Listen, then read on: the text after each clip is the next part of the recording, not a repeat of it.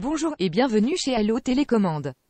Aujourd'hui nous allons vous montrer comment programmer la nouvelle télécommande Orman HS2. Pour effectuer cette opération, vous avez besoin d'un ancien modèle en état de marche, déjà programmé. Prendre dans une main une télécommande déjà en fonction. Appuyer et tenir enfoncé une touche. Prendre dans l'autre main votre nouvelle télécommande et placer les deux télécommandes bord à bord. Attention si vous disposez des télécommandes à touche verte ou grise, pendant l'opération de copie, placez les têtes contre tête.